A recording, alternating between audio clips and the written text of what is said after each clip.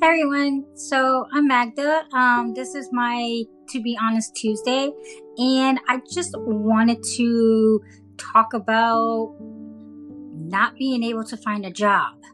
So I was diagnosed back in 2019 with dermatomyositis and ILD, and since then I have not been working. I recently, let's say about two years ago, got on disability.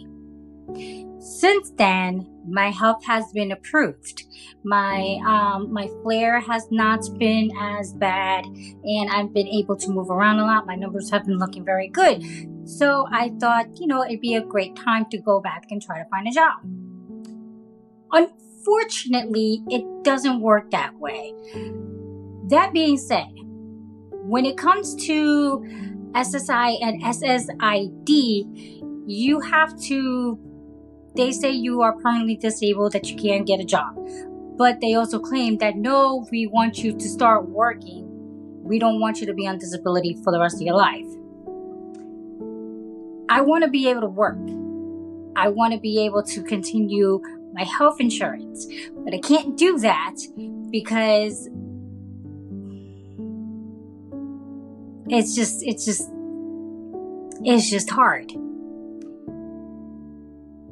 I don't know how else to state this, but it is what it is. Um, I was told that in order for me to get a job, it would have to it would have to be part time, and I would have to work only 16 hours within a month. Within that month, I can only make a certain amount of money if I don't make that amount of, if I make over that amount of money, I lose my benefits. Now, that being said, that's not fair because Social Security doesn't pay for everything. Social Security doesn't pay for anything at all. You know, you only make a, you only are allowed a certain amount of money to live off. And not having, you know, money throughout the month kind of puts a damper on how to live. You know, you're only getting like $900 a month. How does a person live off of $900 a month, especially when you have so much bills to pay, when you have a child to take care of?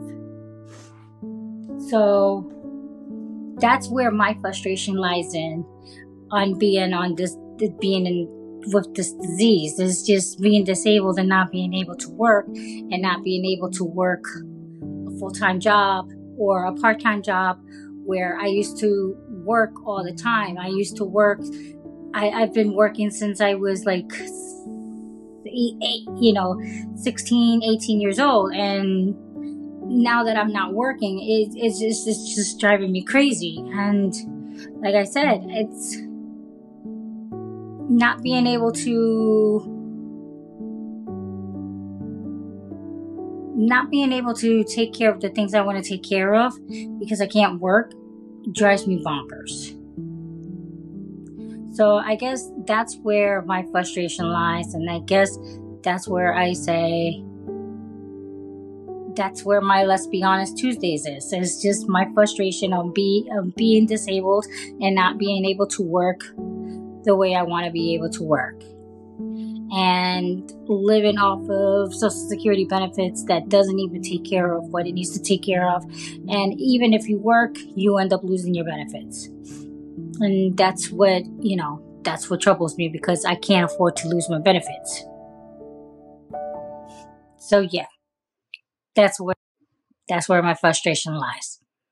Anyways thanks for listening. Take care